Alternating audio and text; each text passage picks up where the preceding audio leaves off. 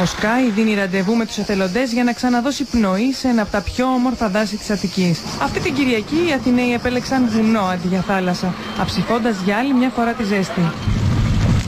Μην τραβάει άλλο. Του τραβάς άλλο.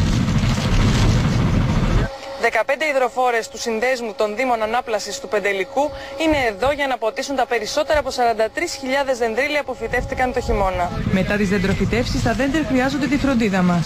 Είναι μία ακόμα εξόρμηση για να στηρίξουμε τα δεντράκια τα οποία φυτέψαμε το χειμώνα, να τα στηρίξουμε στις ιδιαίτερα αντίξωες συνθήκες του καλοκαιριού, να τα ποτίσουμε, να τα περιποιηθούμε. Μέχρι το μεσημέρι θα έχει ποτιστεί όλη η πλευρά που είναι στο πείγμα, που έχουμε κάνει την αναδάσωση στην τελευταία. Το ευτύχημα είναι ότι τα βλαστάρια που είχαμε φυτέψει ε, το χειμώνα είναι εντάξει, διατηρούνται. Οι εθελοντές διασκορπίζονται στην ευρύτερη περιοχή. Αυτή τη φορά τη δύσκολη δουλειά την έχουν αναλάβει οι υδροφόρες των Δήμων.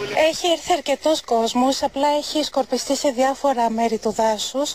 Οπότε είναι δύσκολο να τον δείτε όλο μαζί, αλλά είναι αρκετοί οι εθελοντές που έχουν έρθει. Το επόμενο ραντεβού για πότισμα στο δάσος της Πεντέλη δίνεται για τις 31 του Αυγούστου.